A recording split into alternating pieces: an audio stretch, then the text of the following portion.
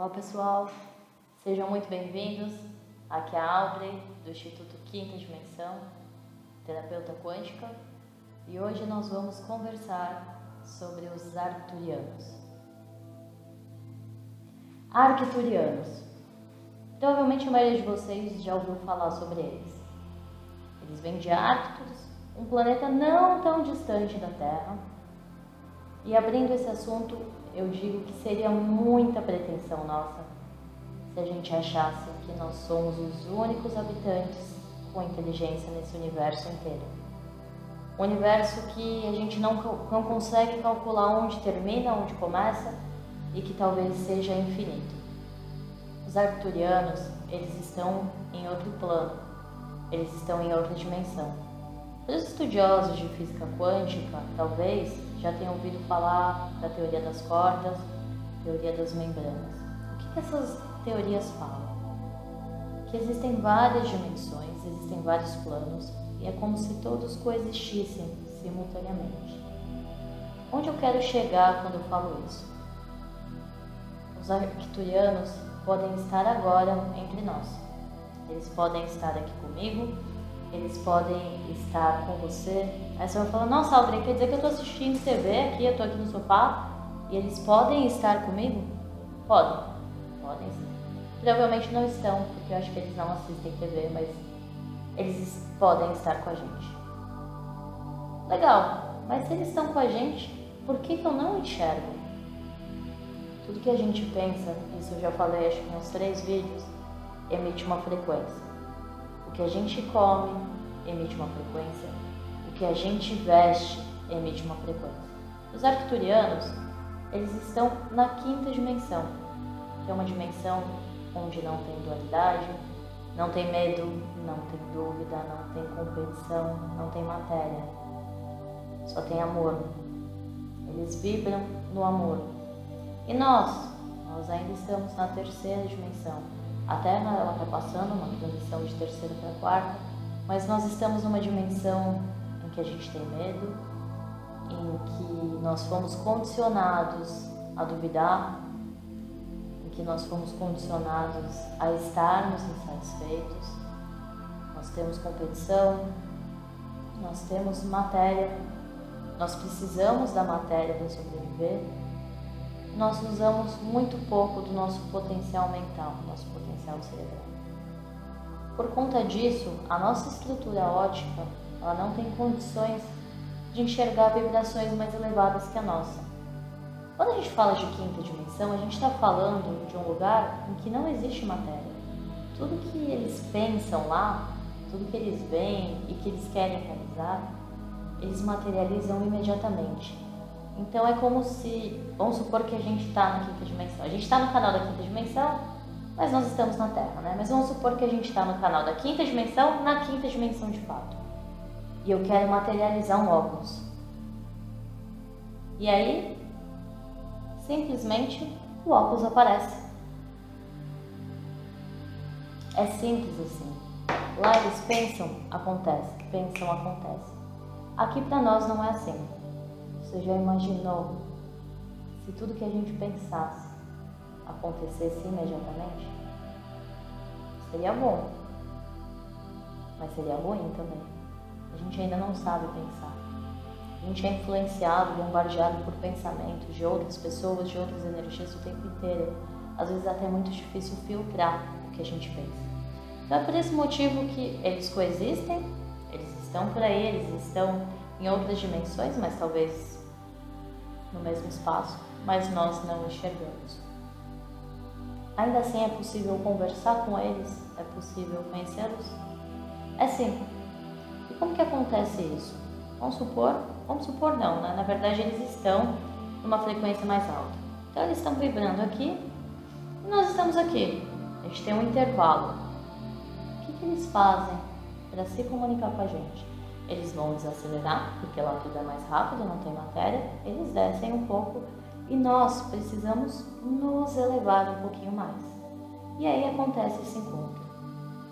Como que a gente faz para elevar a nossa energia? Tem algumas recomendações que qualquer pessoa pode seguir. Quando você for contatar um arcturiano, nas 48 horas anteriores, se você puder evitar o consumo de carne vermelha, legal. A carne vermelha, ela não só tem todas as carnes, né? Mas a, a vermelha em si, ela acumula mais energias mais baixas. Tem os hormônios, tem o sofrimento do animal e para o nosso sistema digestório também, ela é pesada. Então isso talvez atrapalharia um pouco o contato com eles. Outra coisa, eles pedem que vocês evitem a cor preta.